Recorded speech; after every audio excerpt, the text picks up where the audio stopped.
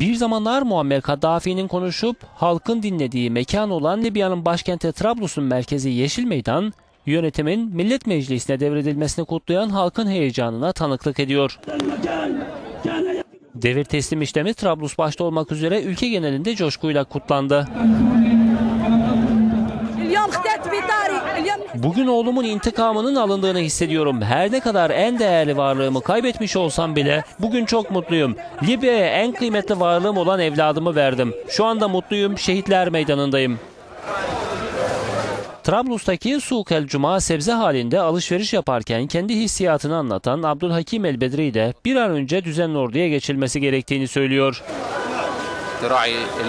Dilerim Ulusal Konsey vatandaşların güven ve huzurunu hesaba katıyordur. Özellikle silahlı milislerin silahsızlandırılması gibi. Bunların iç işlerine bağlı olduğu söyleniyor ama çok dağınıklar. Her şeye rağmen ben ümitliyim. Her şey güzel olacak.